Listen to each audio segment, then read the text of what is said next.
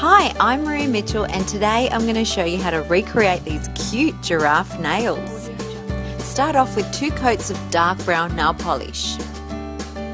Now grab an ultra thin clean brush and some yellow ochre acrylic paint which you can get at any craft store.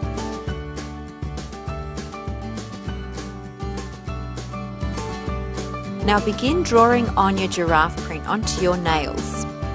If you make a mistake, you can carefully rub it off with rubbing alcohol and it won't affect your brown nail polish underneath.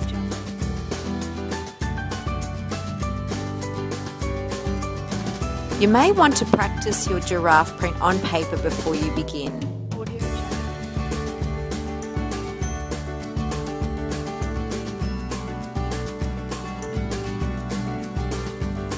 Once you've finished, seal your design off with a quality top coat. I've used Sally Hansen's Salon Manicure Top Coat for extra shine.